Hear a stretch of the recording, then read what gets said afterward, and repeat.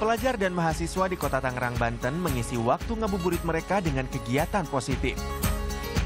Salah satunya menggagas kreasi seni mural di sepanjang ruas jalan Pasar Baru.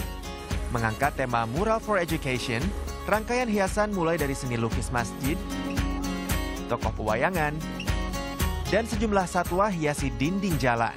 buat menunggu beduk maghrib ya berbuka bareng gitu jadi konsepnya ngabuburit sih sebenarnya ngabuburit yang positif dengan melalui kreasi gambar Kegiatan ini disambut baik pemerintah setempat.